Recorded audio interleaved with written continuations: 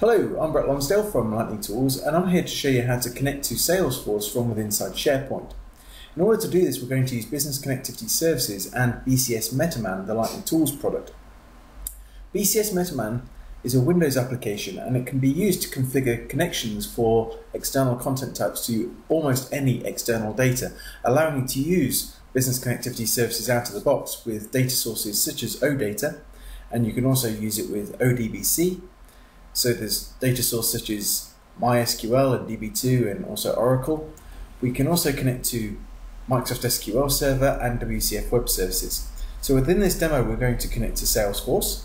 And what we have is our username and password for Salesforce set, along with the gateway consumer key and consumer secret, which can be obtained from within Salesforce that allows us to go and connect to it from the outside world. And we've also got Secure Store configured, allowing us to send across those two levels of detail for each user, along with the username and password that is going to authenticate with Salesforce.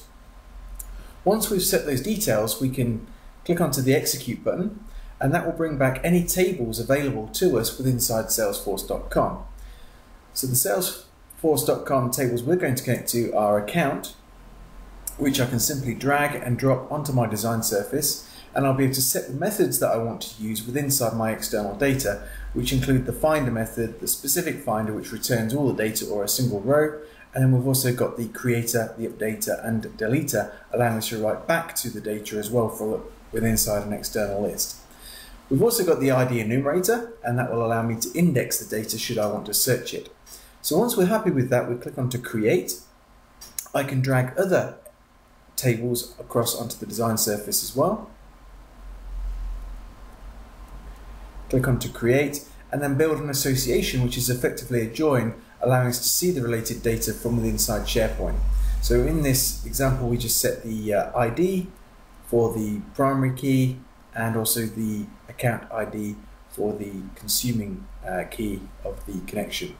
And once we're happy with that, we simply click on to create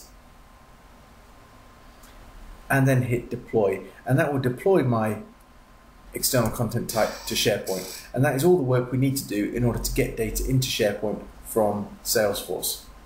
So once we've done that, you'll be able to access your Salesforce data like I can here inside my external list, which is showing me the Salesforce tasks, and I can do both create tasks, update tasks, and delete tasks from within inside the Salesforce environment.